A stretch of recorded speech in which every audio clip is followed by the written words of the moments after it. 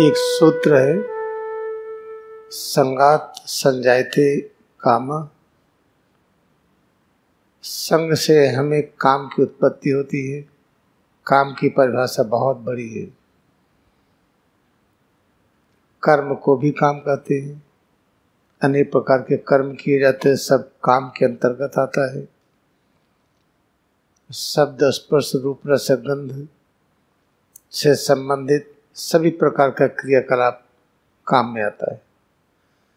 आँख खोल करके हम देखते हैं, लेकिन आँखों से देखने पर ऐसा नहीं लगता कि प्रत्येक रचनाओं की महिमा अनंत और असीम है। कि तभी ध्यान से देखिए, ये लगेगा नहीं। क्योंकि हमारा मन आँखों के माध्यम से देखता है और मन अभी मन की दृष्टि निर्मल नहीं है अंधा है। इसलिए आइए हम लोग ठीक से देखने का प्रयास करें। अभी ऐसे देख करके कहिए, प्रत्येक व्यक्ति अनंत और असीम है, पवित्र आत्मा है, पूर्ण अस्तित्व है तो कहते रहिए, कोई मानने वाला नहीं। है अगर किसी भगवान की मूर्ति को कही, भगवान राम की मूर्ति है, कृष्ण की है, गणेश की है, दुर्गा की है, हनुमान जी की है, जीसस क्राइस्ट, कबीर साहब नन्ना कदीर जी, बुद्धा हाँ उसको मानने में आसानी होती है। इसका कारण क्या है? क्योंकि हम सब की आवश्यकताएँ एक है। हम अपने अस्तित्व को बनाए रखना चाहते हैं, सभी चाहते हैं। अस्तित्व को बनाए रखने में हम सबके अलग अलग विचार हैं। हमको अपना विचार अच्छा लगता है, किसी दूसरे व्यक्ति को वो जो सोचता है वो अच्छा है।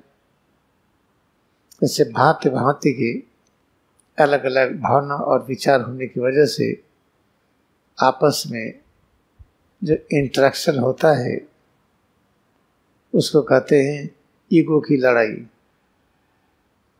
इसलिए आँखों से देखने पर सच पता नहीं चलता है।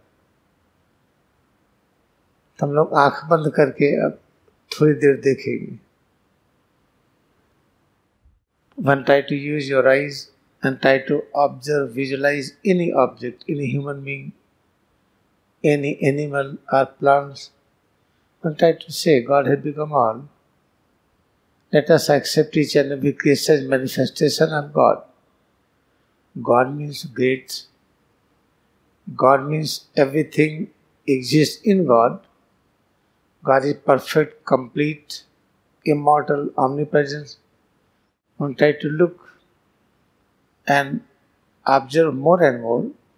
It is very difficult to say that you are omnipresent, or within you all things exist. Then let us, we should practice in different way.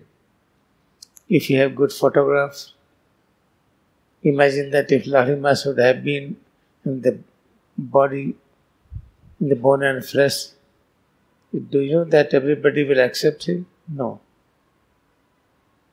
because there are a lot of interpretation about Larima says should look like this, like that. Ikteshagri was there, how many accepted? Because his photo is there, he's not present like us here. Therefore, we have less problem in accepting this. They are very great. In the same way, image of Jesus, Moses, Abraham, image of Buddha, Kabir Sahib, Nanak Dev Ji, divine mothers like Durga, Bhagwan Ram and Krishna.